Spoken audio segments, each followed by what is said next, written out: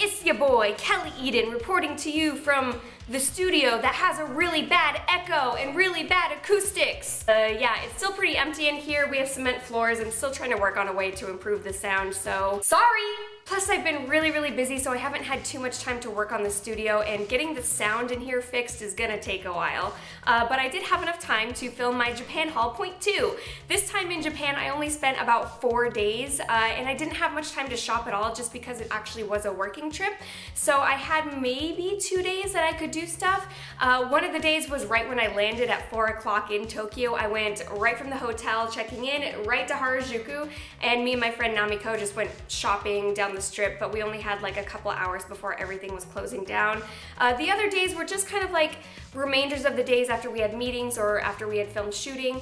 Um, but I'm gonna be showing you guys some stuff that I got from the Sailor Moon Cafe, um, stuff that I got from the Square Enix Cafe that was featuring Final Fantasy 15 at the time, and also things that I got from the Sailor Moon store, which all of you guys have been talking to me about. So I got some pretty good stuff. Uh, it's definitely not gonna be as much as last time because I spent two weeks in Japan, but you know what? I did some pretty good damage. So without further ado, this is my Japan haul, point two. So this is the first thing that I got. I got it at Swimmer in Harajuku. I've talked about Swimmer before. It's a really adorable kawaii shop. Um, this is probably one of my favorite stores of all time, and it's going to be closing in January, which I'm super sad about. But on the upside, they had a lot of different sales, so a lot of things were marked down about like half price. So anyway, back to the bag. It's a really cute lilac color with a bunch of pale pink pretty stars. Uh, they look cream in the camera, and then on the inside it's kind of like a satin liner. Um, I got this so I could put my uh, drawing pencils in it. It has a really pretty pearl on the zipper and it was only three bucks. And then I got these scissors. These are just for my desk. I really liked the case that was on it because of the little like Pegasus pony. Um, I actually got a box cutter too, but they confiscated that at customs. I totally forgot about it. But yeah, just cute and pastel. So and then I got a little bit more stationery. This is actually a really cute pencil sharpener. Um, again, I draw a lot, so it's nice to have a, a, like a cuter sharpener because, you know, my life has to be cute. I'm not ever gonna be not cute. You dig me? Uh, anyway, it's got a cute gem on the front and it's very like magical girl. So I think this might have been a dollar, maybe less, not really sure. This I got at Wego. Uh, this was in Harajuku as well. It's a cute like video game, I don't know, passport holder, card holder thing. Japan is really all about these um, train ticket holders or for your pass or something like that. So I got a lot of them even though LA doesn't really have a metro or anything. I don't ride the train or anything, but I liked it. I got this pin of Aranea at a gachapon at the Square Enix shop. They were having the Final Fantasy 15 cafe. And actually the first time I did the gachapon, I got the king, which I didn't want. But one of the waiters had this on his vest, so I said, hey, do you want to trade? He was really confused at first, but he traded and everyone's like being really sweet, so it's a good memory. This was a gift from Hiroko Tokumine. I met her once at the Kawaii Summit and she made it for me and had her sister, who works at a maid cafe, deliver it to me. Um, I was really surprised. It was so generous and I absolutely love it. Hiroko is a Lolita wedding dress designer, so she made this for me by hand all in one night. And of course, it features my husbando, Sephiroth Fighting Cloud from Advent Children. And then on the back, it's just like all these beautiful detail, like high-end fabrics. Like I can't even describe how beautiful it is. On the top, it has a drawstring. And I'm not really sure what I'm gonna put in it, but it's like so precious. I'll probably just put it in my Sephiroth shrine, you know, to worship for all eternity. This is something I got at the Square Enix Cafe. Um, this was part of the merch that I first saw when I came in. It was the first thing I've ever seen that was pink from Square Enix, so I had to have it. Um, it's actually just another one of those train passes. Um, Japan's really into like cute train passes. Not that I'll ever use it for the train, but it has a little Moogle on the front. I don't know if it's real leather or not. It certainly doesn't feel like it, um, but I really liked that they used a different color scheme. Usually Final Fantasy just goes for like black, gold, silver, gray. And then it has the 15 emblem on there because they were promoting the Final Fantasy 15 cafe. Um, not really sure what I'll use it for, but it's super cute. So I was happy that I got some sort of kawaii Final Fantasy merchandise. Oh, and then it has the pulley thingy. I thought that was pretty cool, right? It's good for people who have ADD like me. So there's the Square Enix logo, and then on the back there's the Final Fantasy 15 logo. This is an eyeliner that I got at the Sailor Moon store in Harajuku. Um, it's one of the only things that I got because everything was pretty much sold out. Um, the eyeliner is actually pretty good. I already tried it out. I already did a unboxing and try on. Um, the link will be down below to that video. Um, so it features a silhouette of Usagi and Luna. Um, the overall design is pretty good, and I mean, it's a dinky little plastic thing, but it's a lot of fun. It was about $16. Instead of a felt tip, it actually has a brush. The other thing that I got was some candies that I saw. This was on the other side of the Sailor Moon store in the blue, like Princess Serenity area. Um, I already tried them. They're like hard candies with like powder on top of them. This one is flavored strawberry, but they really don't taste like anything. Like they kind of taste bad. And, which really surprises me because usually for Sailor Moon they've come out with pretty good products, but yeah, it just kind of sucks. It's gross, to be honest. Um, but then I also got another can. Um, I got just two of these from my friends who are really big Sailor Moon fans. Um, so yeah, I hope they don't think the candy's gross. Then I got this little gem, and this also came from the Sailor Moon store on the other side, on the Princess Serenity side, and this was part of a gachapon. Gachapons are really cute, like vending machines, and you just put $3 in and you get a little prize. So I got this little dish. Um, people usually put their like vitamins in it or something. I'll probably put makeup in it or some sort of lip balm or something. And then this I got from the Sailor Moon Cafe. This was our placemat, and as you can see, it was actually very straight when I got it, but the only way to get it home was to roll it up. This is also from the Sailor Moon store. It's just a very simple mirror. Um, I found these just on the side. There were just a few left. There was also a mirror with the Outer Scouts on them. It's definitely really cute. Um, this is a collaboration between Sailor Moon and a company called ITS'DEMO. I don't really know what they are, but I think they are some sort of like home decor shop that does collaborations with people or something like that. It actually has a good amount of weight to it. It is metal, it's not plastic. There's a pretty decent sized mirror, so this is just gonna go on my vanity and just kind of be there for show. Um, I do like the artwork on the back. I like that it's a little bit more pastel. These are surprise keychains that we got at the Sailor Moon Cafe. So um, in the merch store, you can buy them. They're all mystery items, and I really wanted Usagi, but I got Chibiusa, which is still one of my favorites, so I was really excited. And then I got this cup. Um, I actually got the matching set. So it's a cup with all the Sailor Moon like brooches and items and stuff like that. It's a plastic, but somehow it feels like glass. I just liked that it was pastel and really, really cute. Um, and then I also got the matching one, which represents all the outer scouts and their wands and stuff like that.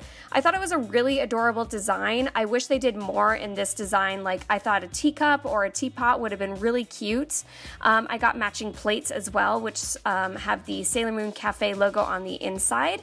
Um, again, they are plastic, but somehow they like have a weight to them that feels like porcelain, so I'm surprised they didn't break. And of course, I got a matching one too. They were about $8, which I felt like was a fair deal, um, but I wish I bought more.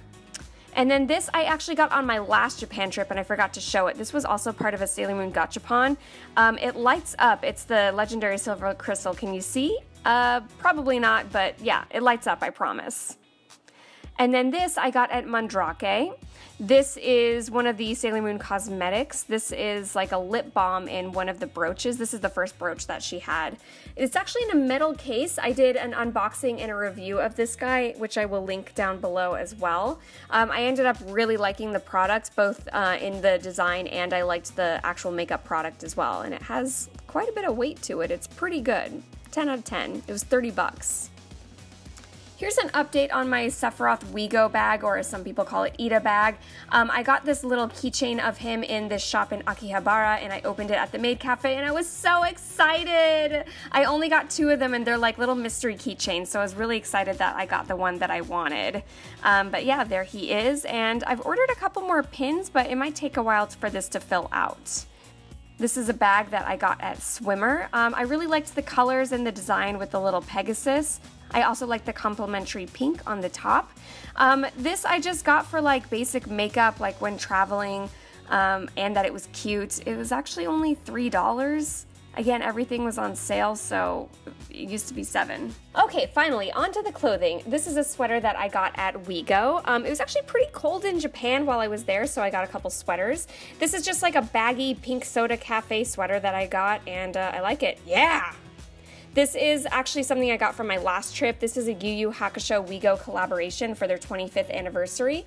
They had a Hiei one, but this one was pastel and the Hiei one was black and white, and I love Botan, so I thought it'd be cute for just like a sleepy time shirt or something like that. And I love Yu Yu Hakusho. It's one of my favorite animes ever. If you guys haven't seen it, check it out. This is something I also got at WeGo. They sometimes have like a vintage section. This is something I found upstairs. It was the first thing that I saw. It was so ugly and so cute. I bought it right away.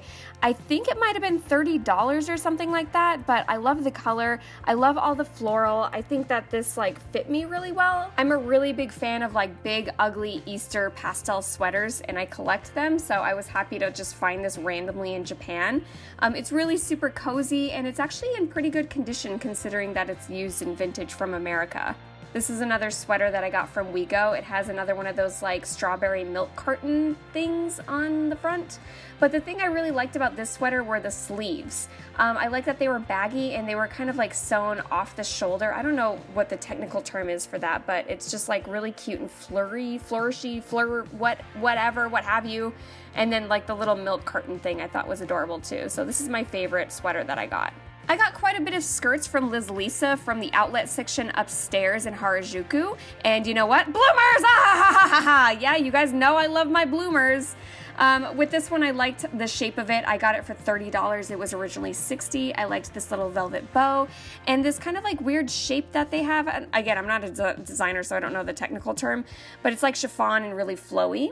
This is another one that I got. Um, this one has like umbrellas and parasols on it. There's a bow in the back. Um, there's a lot of shirring on the back as well. And I also liked the lace that was on the bottom of the dress. Bloomers! Ah, ha, ha, ha. There's only so much I can laugh at that. All right, and then here's the last skirt that I got from Liz So This is a white skirt with light pastel flowers, and then it has two ties on the side. Uh, there's a lot of shirring in the back, which is really nice and really comfortable for me. Um, but yeah, this is, you know, there's bloomers. Are you done with that joke? Okay, let's move on. Here's my favorite dress that I bought. This is from Secret Honey. And actually, last time I was in Japan, I didn't have too much of an interest in Secret Honey. Um, but I saw one of the clerks wearing this dress and I absolutely fell in love. I love the color. I love the shape. It's super modest. Yeah, it's kind of cute and quirky. Um, I liked that it was like an underbust and it actually fit me. Um, I loved that it was pleated on the top, which gave these like really nice soft curves on the bottom of the dress. I loved the ruffles of the underbust. I also really loved all the like tiny little buttons on the front of the torso. Overall, I just really love the ruffles around the underbust. I like that there were two sides of shearing, so it was like super stretchy. This dress is like a 10 out of 10. This is a one piece that I got from Ank Rouge, and it's my first time shopping there. Um, they're like little overall pants. Uh, Japan's really inspired by like modern French wear right now, so it has a crisscross back. It has a drawstring in the front, and then it has those same like ruffle sleeves on the suspender straps. Um, and then you can see on the bottom, oh, don't look at my feet. I'm kind of in waist. This is another dress from Secret Honey. I saw one of the store clerks wearing it and I had to have it. Um, everything about it, I thought the shape was really unique. It's also really modest and you know, you can switch it up. I love the heart in the back. I think that's the thing that really sold it to me. Um, I like that it had tie strings on the back. Um, also, the shoulders I thought were really pretty. They were very inspired by these kind of like ruffle half sleeves. Um, there's shirrings on either side of the dress, and then there's two tiers of these like petticoat. It's not lace, but it's like filler dress filler. I, I don't know what to call it, but it's really flowy. Oh, I also wore this on my date, if you must know. And then I got another Touch the Heart Sweet Talk backpack. I just loved it so much. I had to have another one in full pink. So this is from WeGo. It's great, isn't it? It's just, it's so perfect. This is just a gem of an item. Well, after three international trips, I am exhausted. Thank you for tuning into this video. If you're new to this channel, I would love to have you as a subscriber. There's gonna be a little button at the end of the video with my face on it, and if you click on it, you're gonna be part of this family, and we are just a wholesome, loving, positive family, and we just have fun every single day. Also, if you'd like to be a supporter of me and get more interaction with me, there's gonna be a link to my Patreon at the end of the video. You can sign up for anything from a dollar to $30 depending on what rewards you want and you know what you're comfortable with. There's no obligation to sign up, but it definitely helps me as an artist. So until then, I will see you guys tomorrow. Have a good day. Bye!